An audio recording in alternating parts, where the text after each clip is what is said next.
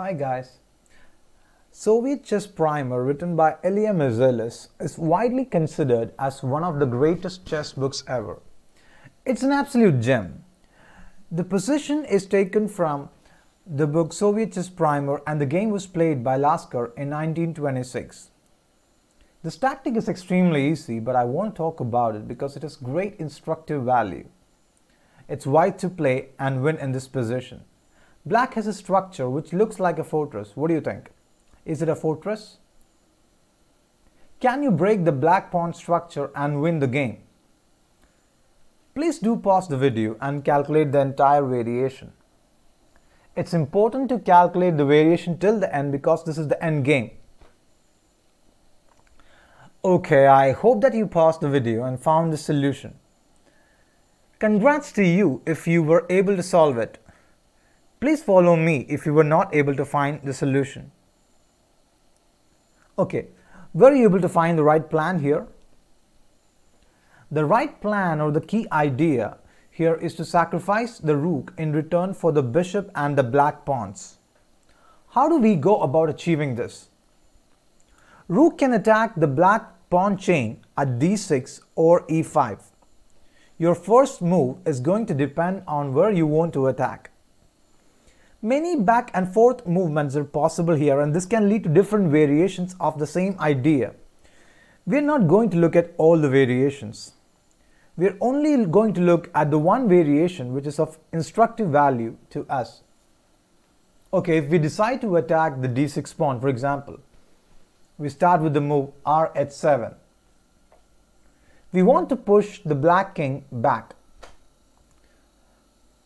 k e8 now the white rook is in control of the 7th rank. Now the white king can start the invasion. k e6,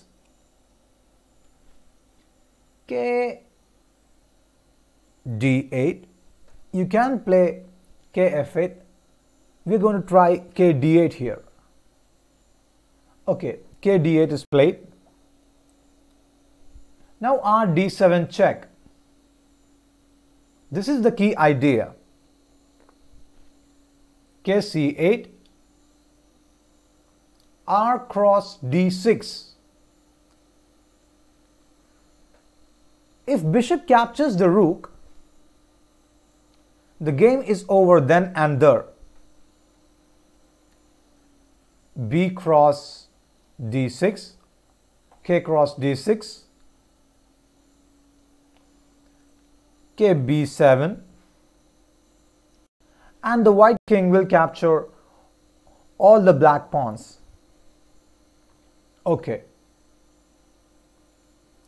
So the bishop won't capture the rook, the bishop will go bd4.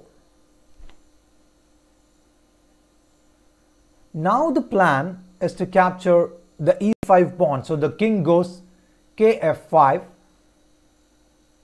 kc7, and the rook goes rd5. Bishop goes bb2. r cross e5.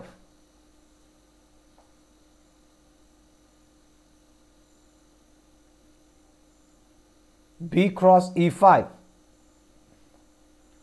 Okay, an engine would not play b cross e5 here. It will save the bishop till the end, though it won't make a big difference. I'm just trying to illustrate the idea here. That's why I want to play this move b cross e5. Okay, k cross e5,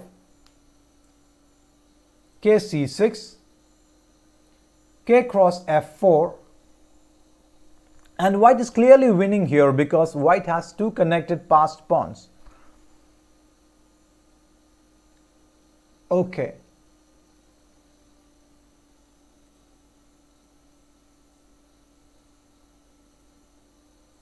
I want to show the key idea again.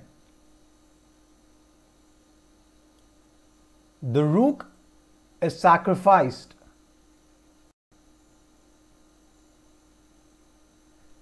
in order to break the pawn structure. That is the key idea here. Okay, I showed you only one variation. Many other variations are possible. If black plays accurately, all the other variations will transpose into the variation that we talked about. Please keep this idea in your mind when you're playing a rook and pawns versus bishop and pawns endgame. See you in the next video. Bye.